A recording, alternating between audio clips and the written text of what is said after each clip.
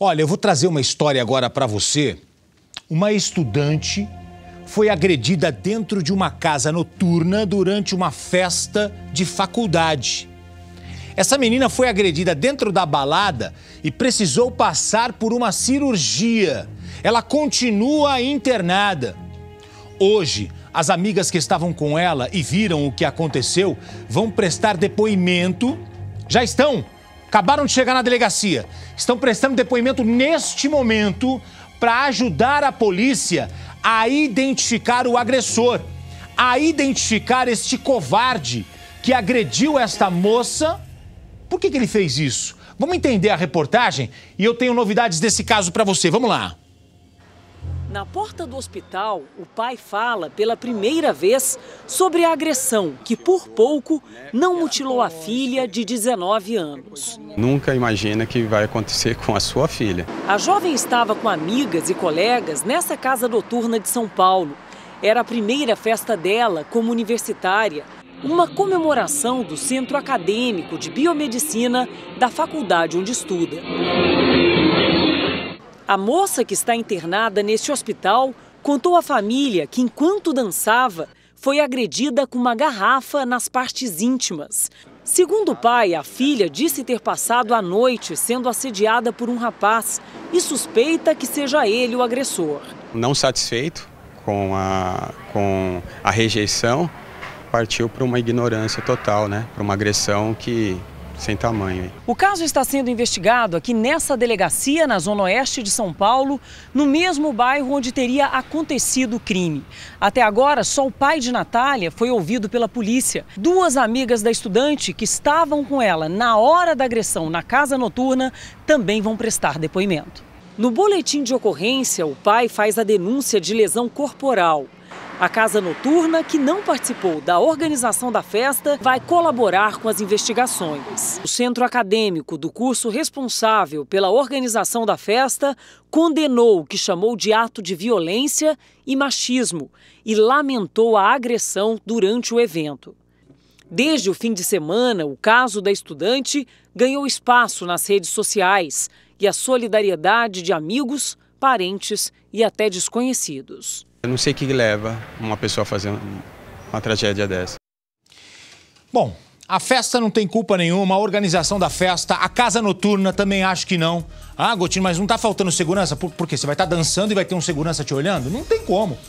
Isso se trata de mais um caso em que o macho, o machão, ele acha que ele tem o poder sobre as mulheres e ele vai lá, passa uma cantada nela e ela tem que ceder os encantos dele porque ele é o, o, o mandante do relacionamento. O cara foi lá. Você quer ficar comigo? Ela falou: não, não quero, sai fora. E tô dançando com as minhas amigas. Aí o cara chega de novo: você quer ficar comigo? Ela: não, não quero. Vou continuar dançando com as minhas amigas. Daqui a pouco o cara volta e, e quebra uma garrafa e enfia uma garrafa na menina.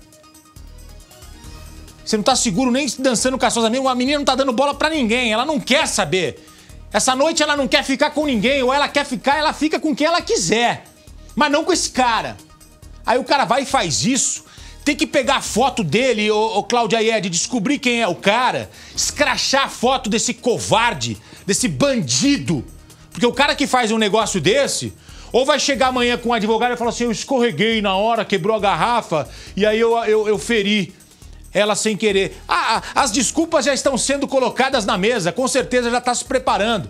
Porque ele sabe e deve estar tá assistindo a gente agora que a polícia vai chegar nele.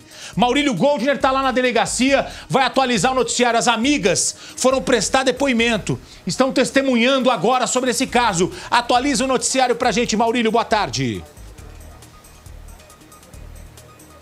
Gotino, boa tarde para você, a todos que acompanham o Balanço Geral. Pois é, as duas amigas da vítima chegaram há poucos minutos nesta delegacia que faz a investigação desse caso e neste momento elas fazem um reconhecimento fotográfico de um suspeito. A polícia já tem o nome, já interrogou um suspeito, só que ele não ficou preso porque falta esse reconhecimento. Então a polícia espera que a partir do que disserem essas testemunhas, do que elas falarem sobre o que aconteceu, se ele for reconhecido, aí ele será indiciado a princípio município por lesão corporal. A polícia também aguarda a divulgação das imagens da casa noturna para que isso contribua no trabalho de, de identificação, para que a polícia possa ratificar que é mesmo ele o suposto agressor desta jovem. Lembrando que a estudante continua internada, o estado dela não, é, não há detalhes sobre o estado de saúde dela. A única informação que o hospital passou é que ela passou, que ela passou por, uma, por uma cirurgia para evitar uma hemorragia.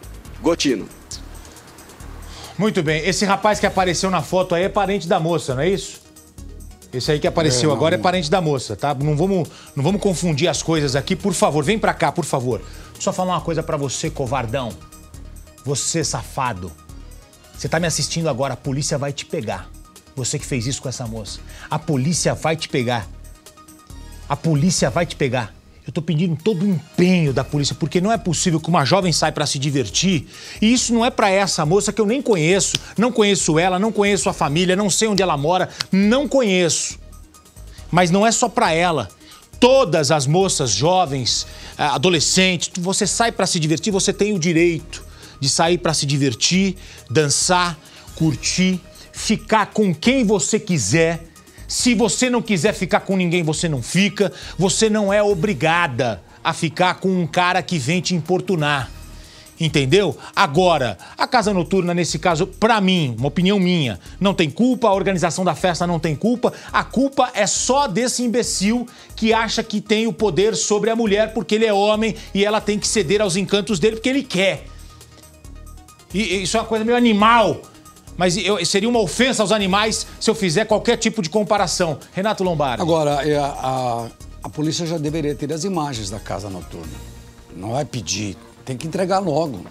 Entrega logo para poder identificar. Ah, tem um suspeito, tem a foto do suspeito, pega a imagem, é esse aqui, pronto, prende, inicia inquérito pede a prisão temporária, pede a prisão preventiva. E não, eu não, eu não autoria, indiciaria por lesões corporais, não.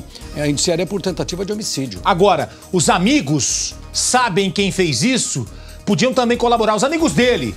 Porque ele podia fazer isso, por exemplo, com a irmã de um deles, de um dos amigos. Então, se você sabe quem é, liga para a polícia 190 181, denuncie esse covarde.